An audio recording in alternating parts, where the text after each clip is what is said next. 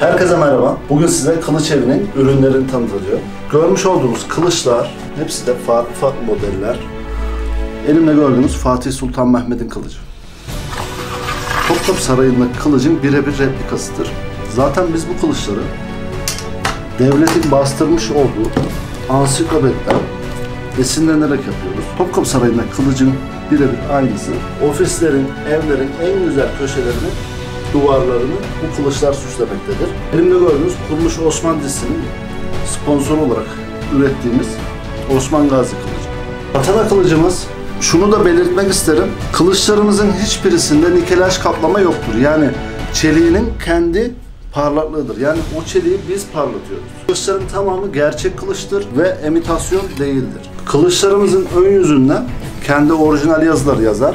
Siz isterseniz bu yazı olmaz, hediye edeceğiniz kişinin kendi ismi yazar veya farklı bir ayet, dua, güzel bir sözle yazılabiliyor.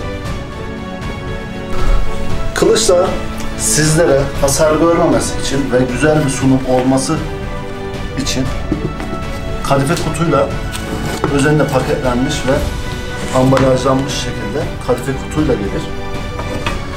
Kutusu, sehpası kargı dahil fiyatlardır. Bu fiyatları ürünlerin e, modellerine göre sitemizde ziyaret edip bütün ürünlerin ücretlerini, fiyatlarını görebilirsiniz.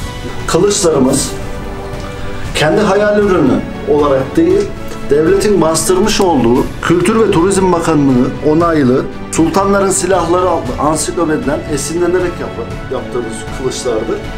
Ve bu kılıçlar hemen hemen birebir replikasıdır. Yazısından balçağına, namlusuna kadar her şeyiyle birebir aynıdır. Kılıcı elimize alıp bu kanuni model, Yavuz Sultan Selim model, işte bu şu demiyoruz. Sadece tarihe sahip çıkmak adına yaptığımız bu mesleği icra ederken aslına uygun olarak yapmak istiyoruz. Sitemizi ziyaret ettiğinizde bütün kılıçları teker teker inceleyip aslına uygun yapılan bütün modelleri inceleme fırsatınız olacaktır. O yüzden kılıçev.com'u ziyaret etmenizi tavsiye ediyorum.